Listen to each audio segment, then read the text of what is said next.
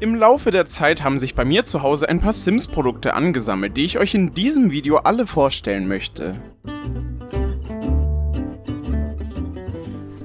Als Sims-YouTuber habe ich nicht nur äh, alle Erweiterungen, die es für die Sims gibt, um äh, das in den Videos vorstellen zu können, sondern ich habe mittlerweile, seitdem ich äh, mit diesem YouTube-Kanal angefangen habe, auch ein paar Merch-Sachen von den Sims angesammelt, die ich euch in diesem Video mal ein bisschen vorstellen wollte und mal zeigen wollte, was ich alles so in meiner Sammlung habe, auch an echten Sachen, die es, äh, die es so von den Sims gibt. Das wahrscheinlich offensichtlichste Sims 4 Produkt, was ich habe, ist äh, dieses Plakat, was man auch in allen meinen Videos im Hintergrund äh, sehen kann. The Cowplant. Fand ich eigentlich an sich ganz witzig, deswegen habe ich es mir auch gekauft und es hängt jetzt hier immer im Hintergrund. Ich habe es bloß leider, weil ich sehr schlau bin, in der falschen Größe bestellt und deswegen sieht es da manchmal ein bisschen verloren aus. Ich bin aktuell auch so ein bisschen im Überlegen, ob ich da noch irgendwas anderes hinhängen soll. Eigentlich dachte ich, das Plakat ist deutlich größer, aber ist es leider nicht. Und ein paar weitere Sachen, die ich von den Sims gekauft habe, ist dann als nächstes, glaube ich, dieses Handtuch äh, mit einem lustigen Die Sims Print. Man sieht hier den Plumbob, man sieht äh, ein Sim aus dem Basisspiel und ein paar andere Sachen, die mit den Sims zu tun haben. Ehrlicherweise habe ich es noch nie so wirklich benutzt und was ich auch nicht so ganz verstehe, da sind so kleine grüne Flecken drauf. Ich glaube, das Handtuch war sogar relativ teuer. Deswegen, ja, eigentlich ein bisschen, bisschen komisch von der Qualität, jetzt nicht so gut, aber ich fand, es sieht auf jeden Fall eigentlich ganz witzig aus. Und ich glaube, wenn man damit am Strand oder am Freibad liegt, dann weiß, glaube ich, jeder sofort Bescheid, okay, das ist ein waschechter Sims-Nerd. Dann eine weitere Sache, die ich mir geholt habe, ist dieser Sims-Block hier. Der ist bisher noch leer. Ja, ich weiß nicht. Ich schreibe mir ehrlich gesagt auch alles äh, lieber so ein bisschen in mein Handy rein. Das ist an sich praktischer, aber der ist auf jeden Fall eigentlich ganz cool. Mir gefällt auch diese Außengestaltung. Ein Artwork, was wir glaube ich auch noch nicht hatten, also was für diesen Blog äh, entworfen wurde, fand ich auf jeden Fall ganz cool. Und ich meine, wer weiß, vielleicht schreibe ich da irgendwann äh, auch nochmal was vielleicht mit dem YouTube-Kanal hat äh, irgendwie rein. Da schauen wir auf jeden Fall mal, was da noch so passiert. Dann als nächste Sache, die ich mir so von den Sims gekauft habe, ist dieses Shirt hier. Man kann es, glaube ich, eigentlich ganz gut sehen. Angezogen sieht das dann so aus. An sich ähm, finde ich es auf jeden Fall eigentlich ganz cool. Ich glaube schon daran, dass es noch in dieser alten äh, Gestaltung von The Sims 4 ist, äh, kann man eigentlich ganz gut erkennen, dass es ein bisschen älter ist. Aber ich fand es auf jeden Fall eigentlich ganz witzig.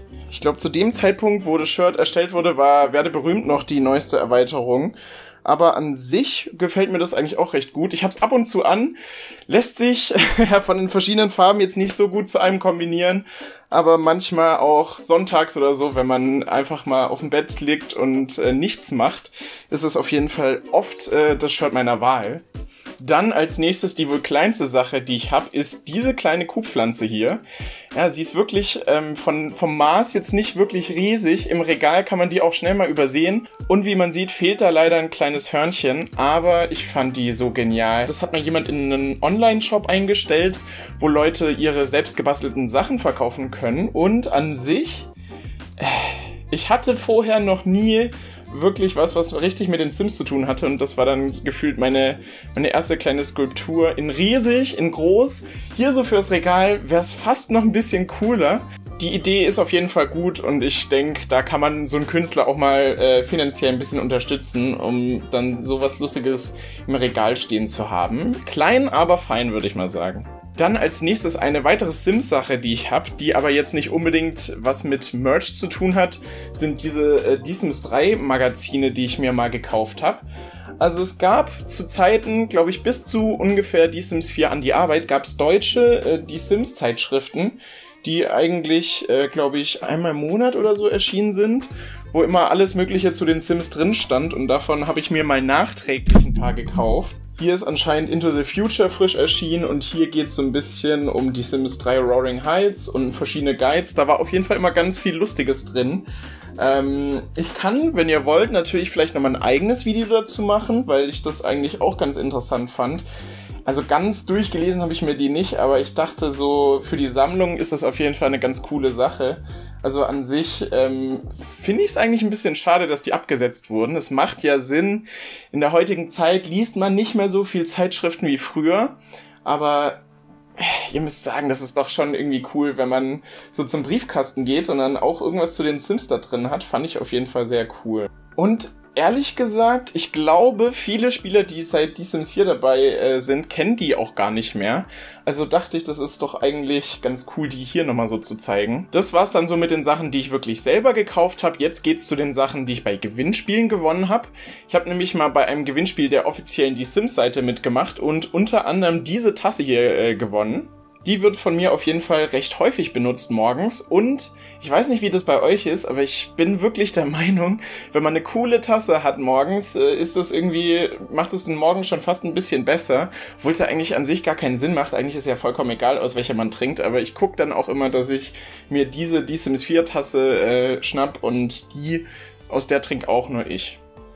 Was weiter in dem Paket war, was ich bei dem Gewinnspiel gewonnen habe, ist nämlich auch äh, dieses Sims 4 Artbook Gab es auch in der Limited Edition von The Sims 4, aber ich habe jetzt hier nochmal einzeln, weil ich mir nicht die Limited Edition gekauft habe von The Sims 4. Also äh, für wirklich waschechte Sims 4 Nerds ist es auf jeden Fall ganz cool.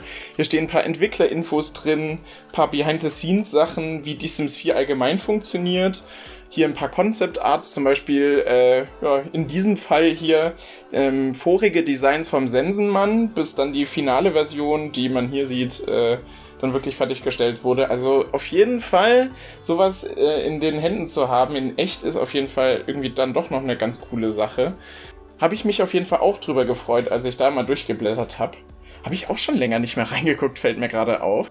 Und jetzt hier an der Stelle nochmal ein kleines Highlight. Den D-Sims 4 Plumbob als Haarreifen fand ich auf jeden Fall auch sehr, sehr cool.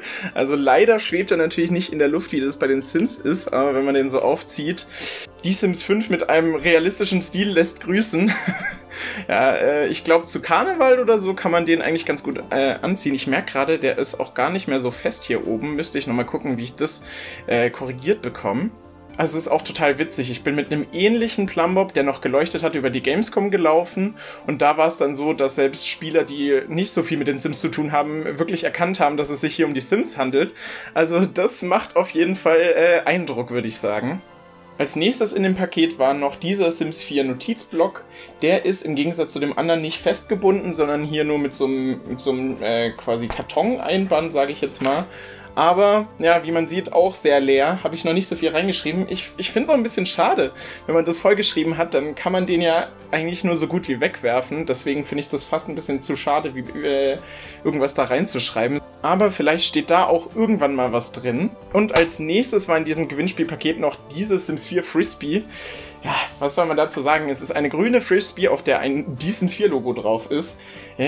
Ich bin nicht so der Frisbee-Spieler, deswegen habe ich hier äh, auch noch nicht so viel mitgespielt. Aber ich habe sogar zwei Frisbees. Ähm, ja, naja, was soll man dazu sagen? Es ist eine grüne Decent 4 Frisbee.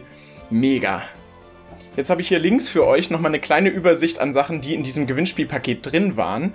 Äh, wie man sieht, noch zwei andere größere Sachen, die ich aber leider nicht mehr habe, beziehungsweise den Sims-Grill, den ihr hier seht, auch in grün, gibt es leider nicht mehr in der Form.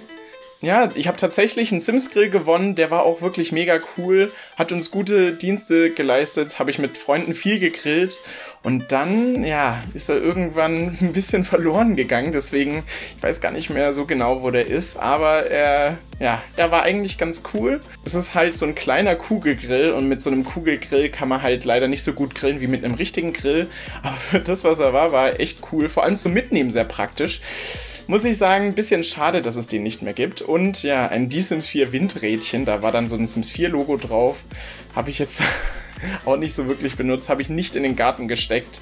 Ja, das liegt hier bestimmt noch irgendwo rum, aber ich habe es äh, jetzt für dieses Video leider nicht gefunden. Aber wie ihr seht, äh, das war dann so das, was ich mit dem Gewinnspiel gewonnen habe. Aber ja, das war's soweit mit, äh, mit den Sims-Produkten, die ich so hab. Leider kann man viele davon gar nicht kaufen. Also jetzt zum Beispiel die eben gezeigten Merch-Sachen, die ich in dem Gewinnspiel gewonnen habe. Die gab es leider nur auf der D-Sims Facebook-Seite, die es damals noch gab. Das war die deutsche Facebook-Seite, die es mittlerweile auch nicht mehr gibt. Deswegen an viele Sachen kommt man nicht ran. Zum Beispiel diesen Plumbob, der kann man, den kann man leider auch nicht so in der Art kaufen. Aber die anderen Sachen, die ich vorhin genannt habe, habe ich auch ein Video zu gemacht, wie ich die bestellt habe und wo ich mich im Sims Merch Store umgeguckt habe. Das findet ihr jetzt auch nochmal links in der Endcard. Und wenn euch das Video gefallen hat, könnt ihr natürlich auch gerne einen Daumen nach oben und ein Abo da lassen. Und ja, dann würde ich sagen, könnt mir ja gerne mal in die Kommentare schreiben, welches von den Sachen äh, ihr am coolsten fandet. Ich muss ehrlich sagen, ich glaube, mein Favorit ist fast dieser Plumbob, weil er einfach irgendwie so witzig ist. Der Sims Grill hatte auch was, war natürlich praktisch. Da würde mich eure Meinung natürlich auch interessieren und dann würde ich sagen, sieht man sich bei einem der nächsten Videos hier auf simsblog.de wieder.